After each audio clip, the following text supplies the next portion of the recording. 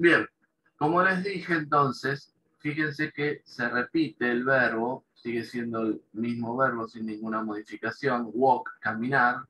Walk acá, walk acá, walk acá, walk acá.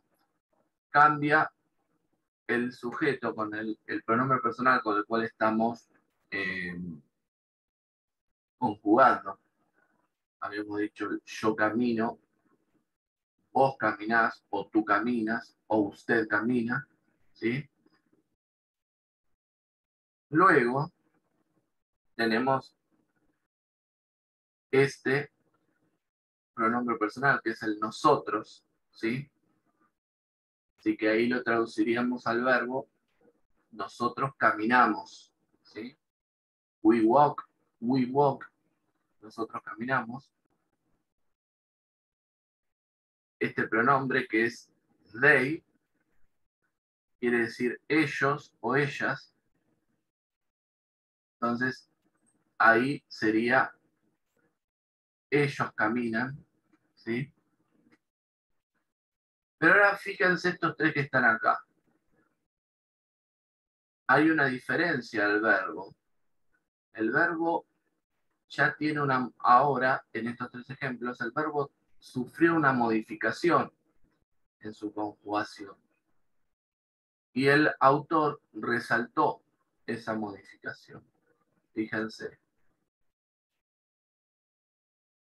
La S. Y ustedes se preguntarán, ¿por qué se le agrega una S al final del verbo? Bueno, la S se agrega cuando el sujeto de la oración hace referencia a, este, a uno de estos tres pronombres. El pronombre he sea, él, cuando estamos hablando de otra persona, no de mí, ni de vos, estamos hablando de él, Estamos hablando de una tercera persona masculina singular. ¿sí? He quiere decir él. Fíjense este, este pronombre, she quiere decir ella. Cuando estamos hablando también de una tercera persona, pero que es femenino, femenino singular, solamente. Y por eso ella. Tenemos él, tenemos she, que es ella, y tenemos el pronombre neutro. En inglés existe el género neutro, antes existía en el español también, pero después de en 1950, perdón, eh, ahora sí. Eh, el pronombre personal it es el neutro. O sea, ¿qué es el pronombre neutro? ¿Qué se engloba dentro del género neutro en inglés? Dentro de lo que es el inglés formal, la gramática formal. Todo lo que no es ni varón, todo lo que no es masculino ni femenino, entra al neutro. Para ellos todo lo que no es masculino ni femenino es neutro. ¿Sí? Bien. Entonces, it ¿Tiene traducción? Sí, tiene traducción, pero generalmente no se lo traduce. Tiene una traducción formal, que es ello. Ello. Así como esto es él, esto es ella, y esto es ello. ¿Sí? A veces hay gente que lo traduce como eso, pero es una adaptación, no es la traducción original, ¿sí? Bien. Ahora, entonces, el verbo en afirmativo. Sí, Maga, también puede ser eso o esto. Se lo puede traducir alternativamente, no es la traducción principal. pero a veces si hay que adaptar la traducción se lo puede hacer.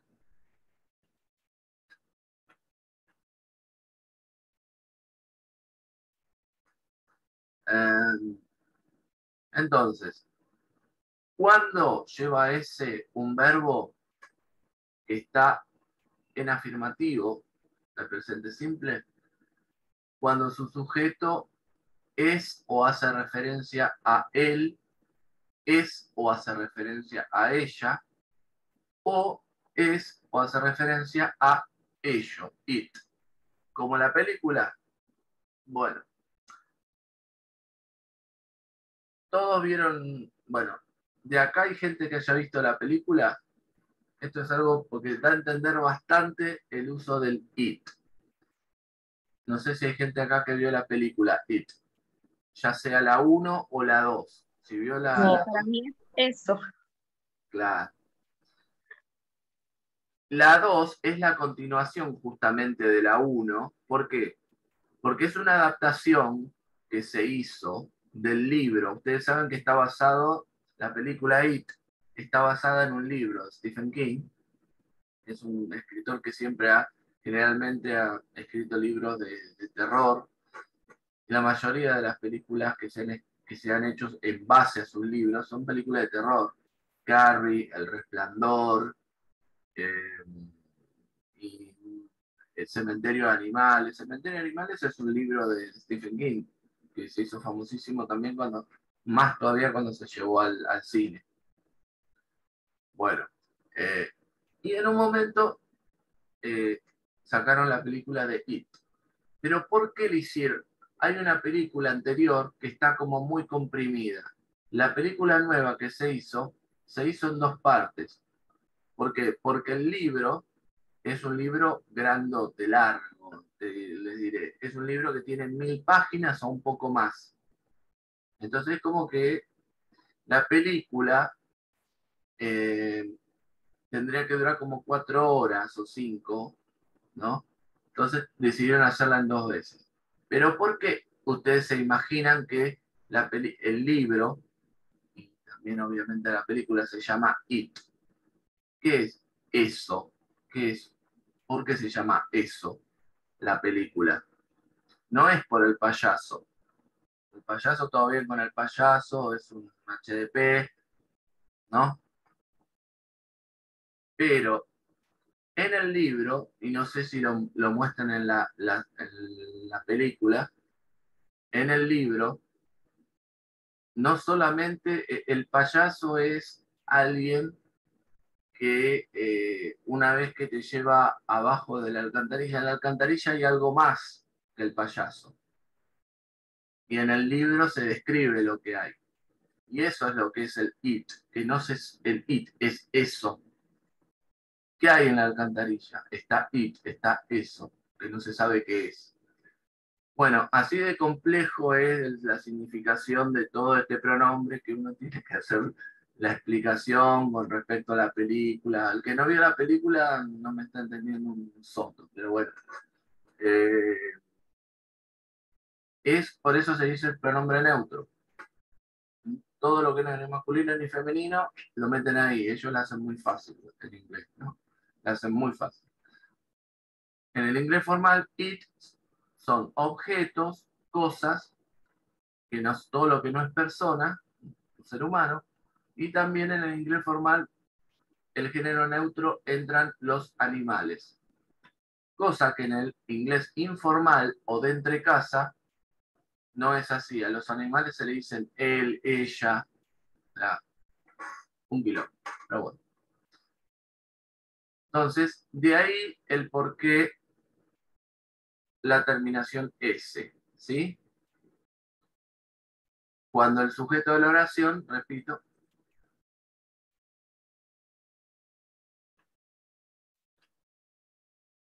algo así. Eh, it, por eso se lo traduce como ello y a veces no tiene traducción. Depende de la oración, es mejor a veces no traducirlo al sujeto. En inglés hay que poner sujeto y por eso existe el pronombre it, porque en inglés no puede haber sujeto tácito. En español sí tenemos sujeto tácito. Por ejemplo, cuando no ponemos el sujeto, por ejemplo, cuando dice llueve, ¿qué llueve? No sé, llueve. O por ejemplo, sujeto tácito, omitimos el sujeto. Fuimos al parque a caminar. Nosotros. Pero no lo ponemos en la oración. Entonces, nosotros ahí es sujeto tácito. No lo nombramos, pero está. Sabemos que el sujeto es nosotros. En inglés eso no puede pasar, tiene que haber sujeto sí o sí. Bien, entonces, siempre que hay un sujeto que es o hace referencia a él, que es o hace referencia a ella, que es o hace referencia a ello, vamos a decirlo así, el verbo mínimamente tiene que tener el agregado al final de una S. Vamos a ver ahora que puede tener aparte esta terminación también. ES, en ciertos casos, y de acuerdo a cómo termina el verbo. Antes de empezar con esto, quiero preguntarles si tienen alguna pregunta para hacer, alguna duda con respecto a este cuadro de conjugación. Esto vendría a ser entonces, él camina, ella camina, ello camina. Si no podemos traducir directamente como camina o eso camina. Que ahí podría ser un animal, por ejemplo. It walks, un animal. ¿Sí? Bien. Entonces, ahora sí. ¿Alguien de ustedes tiene alguna pregunta para hacer con respecto al cuadro ese que remarqué?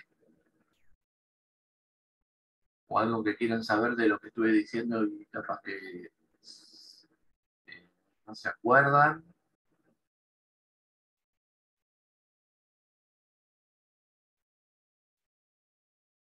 No. ¿No? Bien. Cualquier cosa, me lo dicen o me lo tipean en el chat. Bien. Vamos entonces a ver cuáles son esos verbos que en vez de agregar la S para las terceras, para la conjugación de las terceras personas, agregan ES. A veces la S sola no se puede agregar por la parte de la pronunciación, ¿sí? es muy chocante a veces poner solamente la S, entonces se agrega la ES. Pero ¿cuándo? Cuando el verbo, por ejemplo, como en este caso, termina en O. Un ejemplo de un verbo que termina en O es este, el verbo go. El verbo go. O sea, el verbo ir. ¿Sí? El verbo go, fíjense que no lleva una S, sino que lleva una ES cuando hay que conjugarlo para alguno de estos tres sujetos o un sujeto que haga referencia a alguno de estos tres. ¿Sí? Entonces, para decir va, él va, ella va, ello va, vamos a agregarle ES, queda así, goes. Por ejemplo, también agregan ES al final los verbos que terminan en S. Por ejemplo, este que señalé acá. El verbo mes. El verbo mes quiere decir extrañar, en el sentido de echar de menos a alguien. Extrañar pero también quiere decir perderse algo. Por ejemplo, perder el colectivo, ¿no?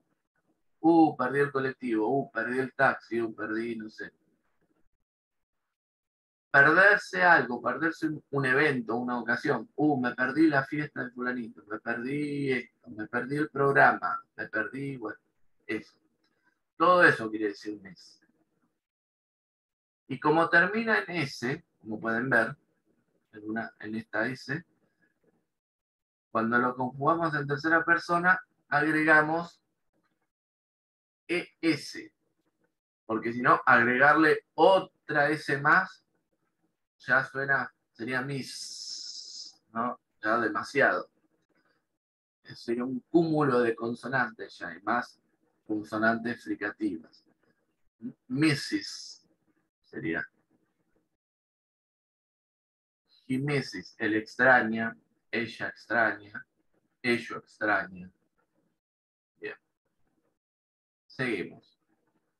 También agregan la terminación ES los verbos que terminan en CH, como este que resalté acá.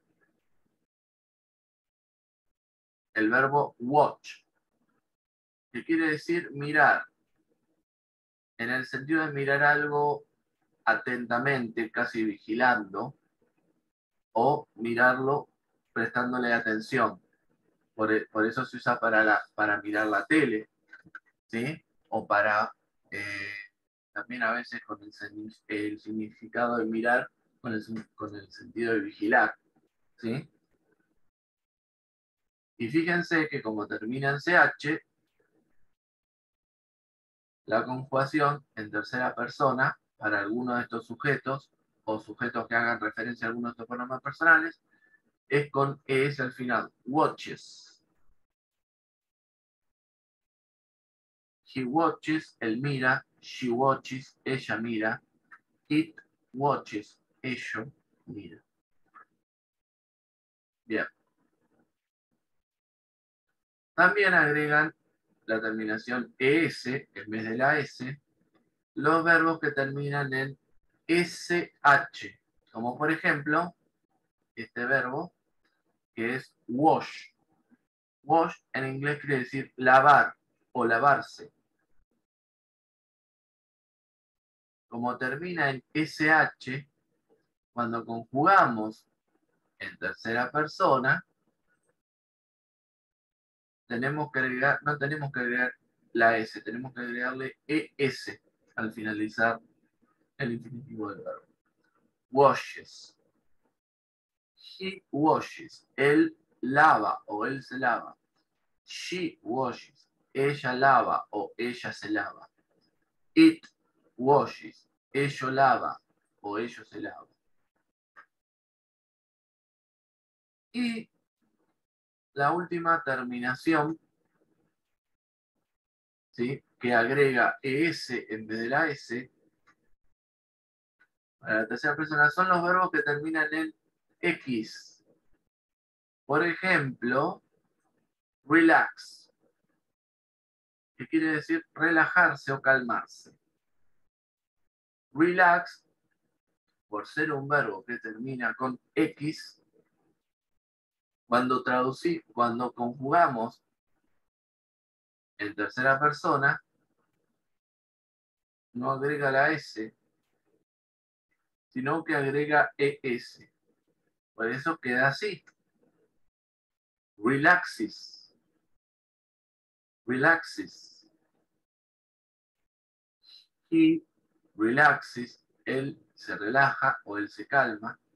She relaxes. Ella se relaja. Ella se calma. It relaxes.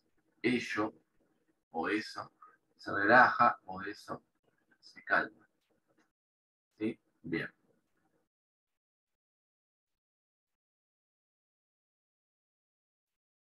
Entonces, con respecto a este agregado de la terminación ES y el por qué, ¿hay alguna duda o consulta que quieran hacer?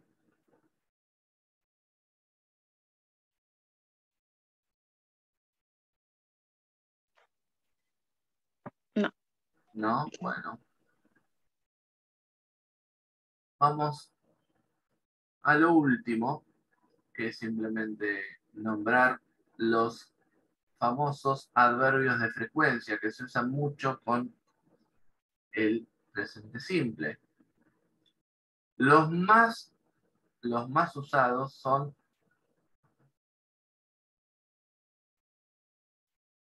Bien, Maga, me preguntas por we y they. Vamos arriba. Fíjense que con la terminación de cuando tenemos como sujeto we, que es nosotros, o como sujeto they, que es ellos, el verbo no lleva ese. Así que estas reglas no se aplican. Estas reglas se aplican cuando nosotros estamos usando un sujeto o un pronombre personal de los que se conjugan mínimamente con una S. Queda sin, sin S. Muy bien, listo. Bien, los cinco de nada, los cinco pronom, eh, perdón, los cinco adverbios de frecuencia más comunes son estos que están aquí. Aquí tenemos un porcentaje estimado de cuál es la frecuencia que muestra cada uno. Vamos a empezar desde el que más muestra hasta el que menos muestra. El de que más frecuencia muestra hasta el que menos frecuencia muestra. Este ya lo habíamos visto en una oración. Always. Siempre. Obviamente muestra el 100% de frecuencia. Por eso dice Tim. Tim es una, la abreviatura de Timothy, de Timoteo. Un nombre medio. No es tan común acá en Argentina. Tim siempre, always, ¿qué es lo que hace siempre Tim? Wears, usa, este es el verbo, se traduce como usar en el, lo que tiene que ver con ropa. ¿Sí? Tim siempre usa jeans, ¿sí? Siempre usa pantalones de jeans.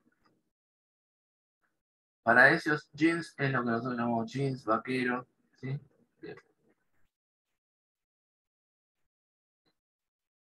Luego tenemos el adverbio que lo vimos también en algunas oraciones. Usually, usualmente, usualmente marca una frecuencia del 80%. O sea, bastante frecuentemente, pero no siempre. O sea, 8 de cada 10 veces, ya que estamos siguiendo esto del 80%. Y acá estoy diciendo, I usually, yo usualmente, me voy, go, ¿a dónde? a la cama. Go to bed, para ellos, nosotros si lo traducimos literalmente sería ir a la cama. La palabra bed en inglés, esta que marco acá, quiere decir cama. Si lo traduzco literalmente sería yo usualmente me voy a la cama. Para ellos, decir go to bed es ir a la cama, pero directamente para dormir, no para quedarse viendo la tele o viendo el celular, la tablet, leyendo, lo que sea. Go to bed es ir a la cama, ir a dormir. Se lo traduce generalmente, ¿sí? Entonces, dice, yo usualmente me voy a dormir at 9.30, a las 9 y media. O sea, usualmente, pero no siempre, ¿sí? Ahí está la diferencia. El tercero de los pronombres, de los adverbios de frecuencia. Often. Often quiere decir a menudo. A menudo. Y marca un 60% de frecuencia, o sea, 6 de cada 10 veces. Tenemos entonces en la oración de ejemplo, Sue, que es la abreviatura de Susan, ¿sí? la abreviatura de Susana, es como nosotros tenemos acá Sue, ¿no? Sue often, su a menudo, ¿qué es lo que hace? Va, acá tenemos el verbo ir, fíjense que se le agregó la S, porque termina en O, y estamos hablando de un sujeto que es como decir ella, Susana. Tú a menudo va a dónde? al cine. Cinema. To the cinema. Su a menudo va al cinema. Al cine, perdón, ya se me mezclan los idiomas a esta hora. Bien. Al lado, abajo, otro adverbio de frecuencia. Sometimes. Sometimes. Quiere decir a veces o algunas veces. A veces o algunas veces. Marca un 40%, o sea, 4 de cada 10 veces.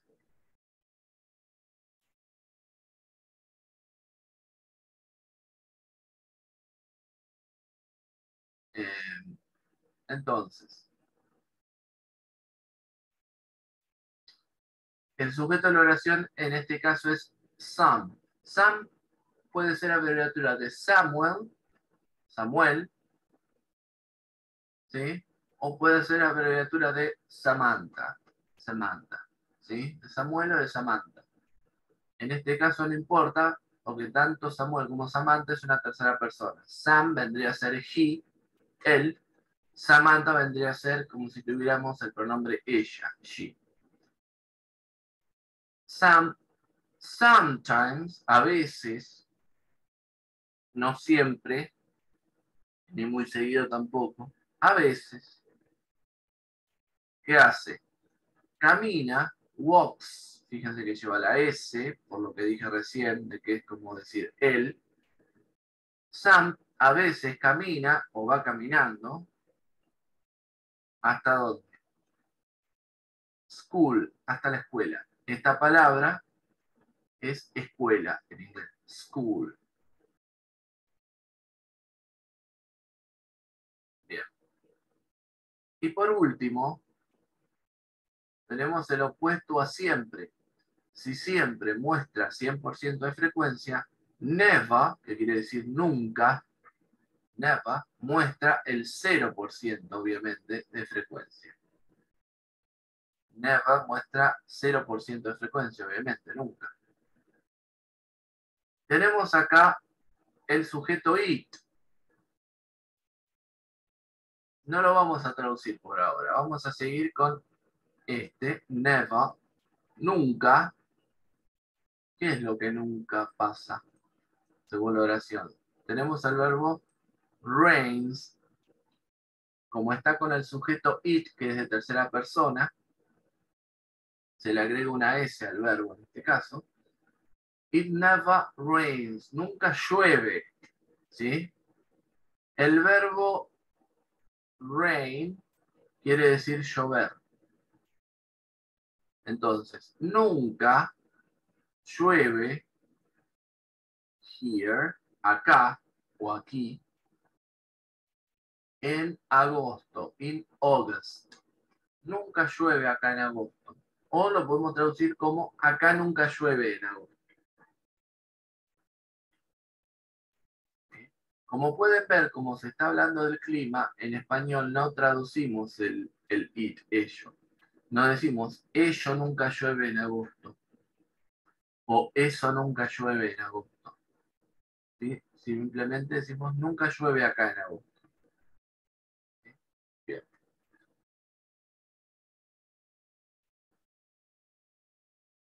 Por último, fíjense que están marcados en negrita los adverbios de frecuencia.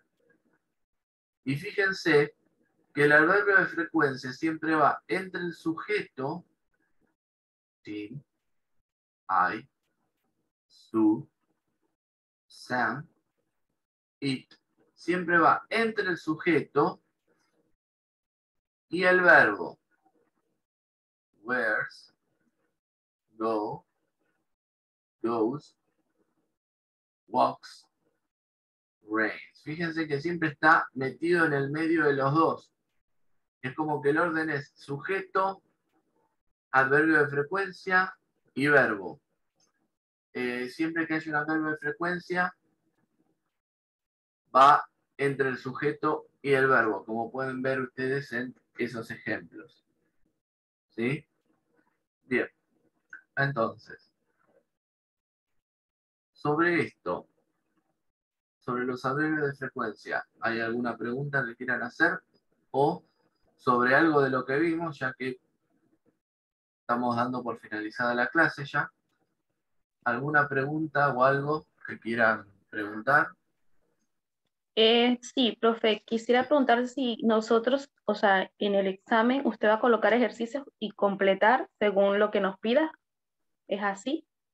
En el, en el examen ustedes eh, lo que van a tener es para elegir, la mayoría, para elegir una de cuatro opciones que es la correcta, que puede ser cuál es la conjugación correcta que va, ¿sí?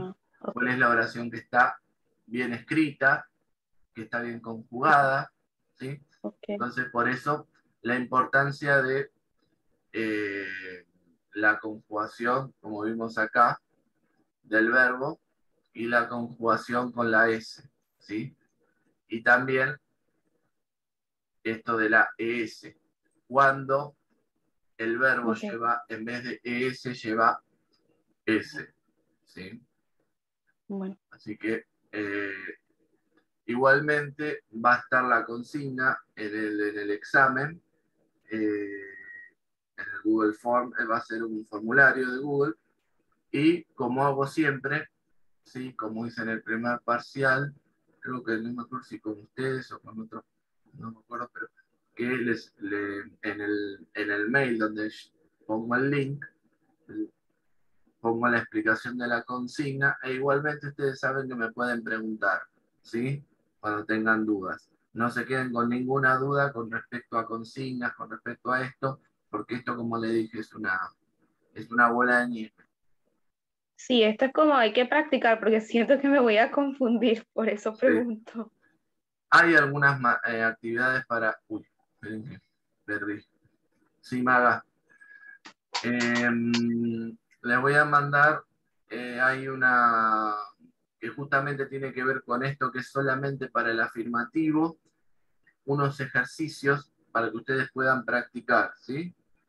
Eh, así que estén atentos porque se los voy a mandar al campus en, eh, un mensaje, ¿sí? Así que de ahí lo van a poder descargar y si no, en el link del mensaje, y si no, igualmente va a estar en material de estudio. ¿sí? Queda todo guardado ahí siempre. Así que bueno. Gracias. Listo. Bueno, em, si no nadie tiene ninguna pregunta más, eh, ninguna pregunta más, cerramos la clase. Em, acá lo principal es recordar los sujetos que llevan ese, él, ella y ellos, y que algunos en vez de ese llevan es, o sea, depende de la terminación que tenga su infinitivo. Siempre se conjuga en infinitivo, excepto estos tres sujetos. Cuando estamos hablando de una tercera persona que es un varón solo, una mujer sola o un neutro solo. Pero no cuando estamos hablando de mí, cuando estamos hablando de vos, cuando estamos hablando de ustedes, cuando estamos hablando de nosotros o cuando estamos hablando de ellos, ¿sí? Siempre en estos tres singulares. Igualmente, cuando estén haciendo los ejercicios, si tienen alguna duda, pregúntenme al campus, ¿sí? O pregúntenme por cualquier otro medio si no pueden por campus. Me preguntan, ¿sí? Profe, consulta, ¿y el parcial ya tiene fecha? El parcial debería ser la semana que viene, pero como no terminamos el tema, lo vamos a lo vamos a, yo voy a dar la fecha para el 8 y les voy a dar como siempre 3 días, 72 horas para que ustedes lo puedan hacer, como hicimos con el primer parcial. ¿Recuerdan? Ok, ok. Sí, sí. Así que, eh, a ver, Maga, los ejercicios eh, lo pueden mandar por campus, por mail interno, y yo les digo cómo fueron, ¿sí? Eh, y, o cualquier duda que ustedes tengan me pueden preguntar por ahí, ¿sí? No, no hay problema. Lo importante es que no, no queden con ninguna duda de cómo es esta conjugación, ¿sí?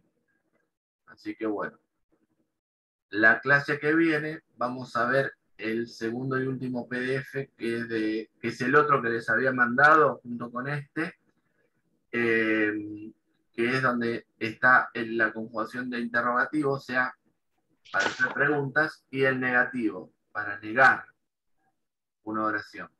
Entonces, la clase que viene, vamos a ver ese, con ese se cierra ya el tema, así ya el otro lunes ya puedo mandar el link del segundo parcial, ¿sí? Sí. Muy bien. Así que bueno, listo entonces. Que tengan un lindo inicio de semana. Si tienen que estudiar, bueno, es lo que hay. Así que bueno. Como yo sospecho, como yo sospecho que los finales van a ser presenciales, seguramente que quizás en alguna mesa me toque estar, así que las voy a ver sufrir en alguna materia. Esas tan lindas, como química, como fundamentos, por ejemplo, por eso, eh, y alguna otra, que son tan lindas para ustedes. Bueno, le dejo, un abrazo. Hasta luego. Chao. Gracias, profe. Hasta luego. No, profe, hasta luego.